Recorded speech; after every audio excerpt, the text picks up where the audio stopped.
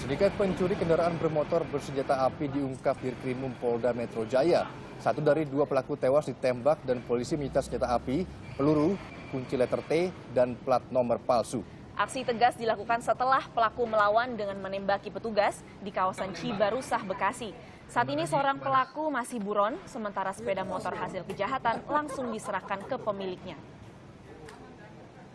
mereka melakukan penembakan kepada anggota kita, kemudian kita kasih tembakan peringatan, akhirnya kita mengarahkan tembakan kepada para pelaku, dan satu pelaku kena punggungnya, dan akhirnya jatuh, kemudian kita amankan. Satu tersangka lainnya itu kabur, masih dalam pengejaran.